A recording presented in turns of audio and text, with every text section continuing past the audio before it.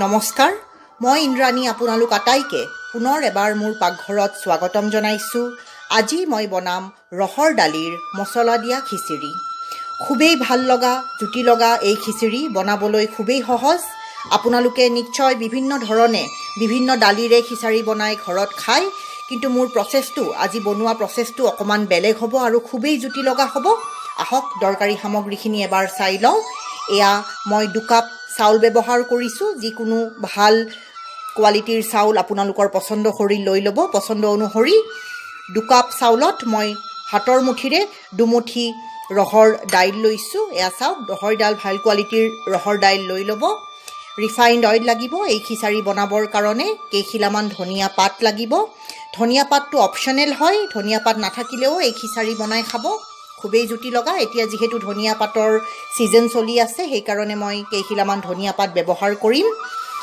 এয়া এটা মজলীয়া চাইজৰ পিঁয়াজ মিহি মিহিকৈ কাটি লৈছোঁ। এটা মজলীয়া চাইজৰ বিলাহী মিহি মিহিকৈ কাটি লৈছোঁ। এয়া ক'লা সৰিয়হ লৈছোঁ আধা চামুচ। গোটা জিৰা লৈছোঁ আধা চামুচ। আঠ দহ ফুট নহৰু গোল গোলকৈ কাটি লৈছোঁ। এয়া এচামুচ হালধি। এয়া নিমখ লাগিব সোৱাদ অনুসৰি। ৰঙা জলকীয়াৰ গুড়ি লৈছোঁ এচামুচ। এয়া ধনিয়া পাউডাৰ লৈছোঁ এচামুচ। জিৰা পাউডাৰ লাগিব আধা চামুচ। গৰম মছলা লৈছোঁ আধা চামুচ। এটা শুকান জলকীয়া চাৰি টুকুৰা কৰি কাটি লৈছোঁ আৰু এয়া লৈছোঁ এচিকুট শিং। আহক বনোৱা আৰম্ভ কৰোঁ।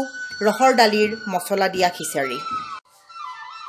এয়া চাউল দালিখিনি মিক্স কৰি মই ভালদৰে ধুই ল'লোঁ। এতিয়া কুকাৰটো বহাই দিছোঁ। এই খিচাৰি আমি কুকাৰত বনাম। কুকাৰটো ভালদৰে গৰম কৰি ল'ম। তাৰপিছত ইয়াতে তেল দিম। এয়া তেলখিনি ভালদৰে গৰম কৰি ল'লোঁ। পাঁচ চামুচ ৰিফাইণ্ড অইল দিছোঁ মই ইয়াতে। তেলখিনি গৰম হোৱাৰ পিছত ইয়াতে ক'লা সৰিয়হখিনি ঢালি দিম আৰু সৰিয়হখিনি ফুটিব দিম। সৰিয়হখিনি ফুটিব ধৰোঁতে জিৰাখিনি দি দিম। লগতে হিংখিনি দি দিম। গেছ কম কৰি থৈছোঁ। নহৰু কেইফুটা দি দিছোঁ। শুকান জলকীয়াটো দি দিম। চাৰি পাঁচ টুকুৰ কৰি কাটি দিছোঁ। এইখিনি সময়তে ইয়াতে হালধিখিনি দি দিম। অকণমান লাৰা চাৰা কৰি দিব লাগিব। এতিয়া পিঁয়াজখিনি যোগ কৰি দিম। পিঁয়াজখিনি গুলপীয়া ৰঙৰ হোৱালৈকে মজলীয়া গেছত ভাজি থাকিম। পিঁয়াজখিনি গুলপীয়া হৈছে বিলাহীখিনি যোগ কৰি দিলোঁ মজলীয়া গেছত ভাজিছোঁ। এক মিনিট সময় মজলীয়া গেছত বিলাহী দিয়াৰ পিছত ভাজি থাকিম। এয়া বিলাহীখিনি প্ৰায় সিজিছে। নিমখখিনি যোগ কৰিম ৰঙা জলকীয়াৰ গুড়ি ধনিয়া গুড়ি জিৰা গুড়ি গৰম মছলাখিনিও এতিয়াই যোগ কৰি দিম। ভালদৰে লাৰা চাৰা কৰি দিব লাগিব আৰু দহ পোন্ধৰ ছেকেণ্ড কম জুইত এইখিনি মছলাখিনি ভালদৰে ভাজিব লাগিব। মছলাখিনিৰ পৰা খুব ধুনীয়া গোন্ধ ওলাইছে ভালদৰে ভজা হৈ গৈছে মছলাখিনি। ধুই থোৱা চাউল দালিখিনি ইয়াতে যোগ কৰি দিম। ভালদৰে মিক্স কৰি দিম মছলাখিনিৰ লগত চাউলখিনি।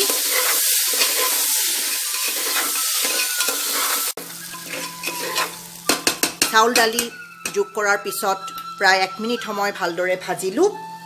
চাউল দালি দিয়াৰ পিছত বেছি সময় ভাজিব নালাগে। এক মিনিট সময় ভাজাৰ পিছত আমি চাওক এইটো বাতিৰে চাউল দিছিলোঁ। এতিয়া এইটো বাতিৰে যিমান চাউল দিছোঁ তাৰ দুগুণ পানী দিব লাগিব। মই এবাতি চাউল দিছিলোঁ। গতিকে মই এয়া দুকাপ পানী ঢালি দিছোঁ।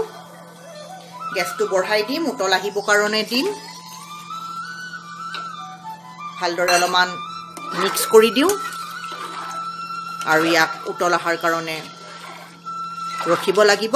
উতল অহাৰ পিছতহে ঢাকন মাৰিম। এয়া চাওক উতল আহিব ধৰিছে। এইখিনি সময়ত ধনিয়া পাত কেইখিলাও ইয়াৰ ওপৰত যোগ কৰি দিম।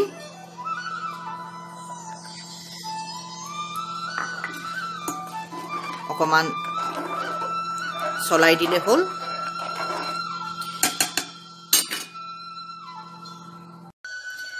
ভালদৰে উতলিব আৰম্ভ কৰিছে। এতিয়া কুকাৰৰ ঢাকনখন লগাই দিম আৰু চাৰিটা হুচেল দিম মই।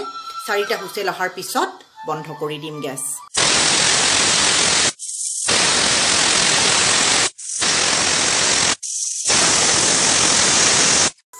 এয়া চাৰিটা হুচেল অহাৰ পিছত গেছ বন্ধ কৰি দিলোঁ। এতিয়া পূৰা গেছ যোৱাৰ নোযোৱাৰলৈকে ঢাকন নুখুলিম। পূৰা যেতিয়া এয়া গেছ গুচি যাব ভালদৰে হৈ যাব তেতিয়াহে ঢাকন খুলি আপোনালোকৰ সন্মুখত দেখুৱাম।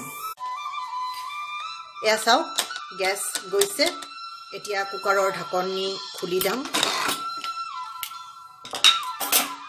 এয়া চাওক খুব ধুনীয়া হৈছে। এয়া খিচাৰি অকণমান লাৰি দিছোঁ মই। এয়া পনীয়া খিচাৰি নহয় কনচিষ্টেঞ্চিটো ভাতৰ নিচিনাই হয়। শুকান হয় এই খিচাৰি খাবলৈ খুবেই সোৱাদৰ হ'ব। এতিয়া বাঢ়ি পেলাই মই আপোনালোকৰ সন্মুখত দেখুৱাওঁ আহক। প্ৰিয় দৰ্শক ৰহৰ দালিৰ মছলা দিয়া খিচাৰি আপোনালোকৰ সন্মুখত পৰিৱেশন কৰি দেখুৱাইছোঁ। খুবেই সোৱাদৰ হৈছে এই খিচাৰি। খুবেই জুতি লগা হৈছে। লগতে মই এই দৈ আৰু বেচনেৰে বনোৱা কাঢ়ি ইয়াৰে লগত পৰিৱেশন কৰিছোঁ। এই কাঢ়িৰ লগত খিচাৰিৰ কম্বিনেশ্যনটো খুবেই ভাল লগা হয় খুবেই জুতি লগা হয় আৰু লগতে কেঁচা পিঁয়াজ ৰাখিব ভাল লাগিব খাই।